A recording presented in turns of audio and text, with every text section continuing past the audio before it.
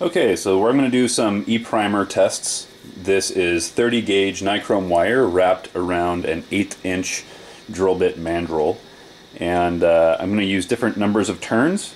And I'm going to give it 24 volts from a lab power supply and uh, see what each one looks like. Uh, so each of these has been dipped in uh, slurry of um, smokeless powder. So I mixed smokeless powder with some acetone until it uh, formed kind of this slurry gel and uh, dipped the coils of each of these e-primers in that slurry until they dry it and let them evaporate and dry off. So the first one is two coils. Counting from the bottom full coils I got two full coils here. So I'm going to set that in the test rig. Spread those apart a little bit Put that in the test rig. And give this 24 volts.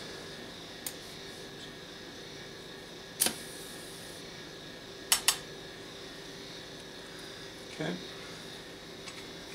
So that was that. I'm going to do three turns now.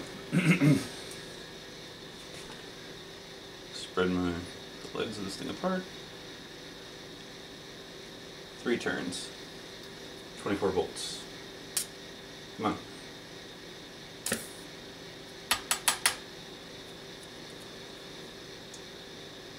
Four turns.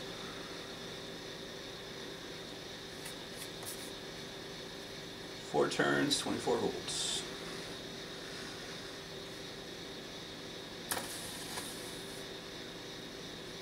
Quite a bit slower.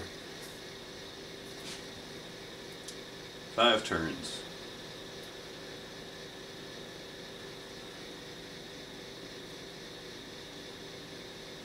That arc flashed on that.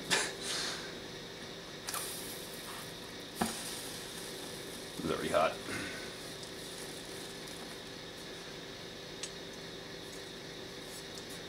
So they're slowing down, which is not a huge surprise because less current is going to pass as the resistance increases, which is going to happen as we add turns. Uh, I think that makes this six. Hope that's six.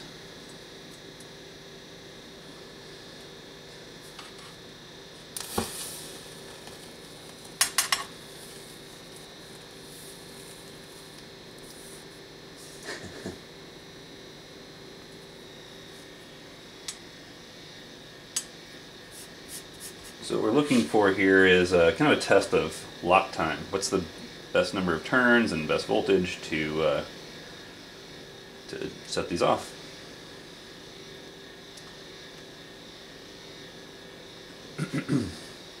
okay, uh, seven turns.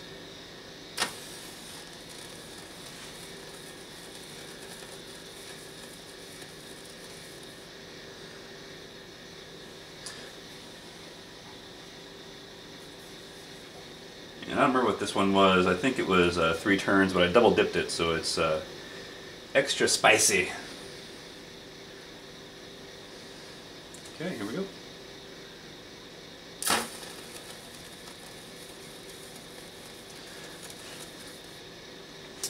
Count the turns there. I think I've got three turns of wire on the extra spicy one. Alright, I'm out.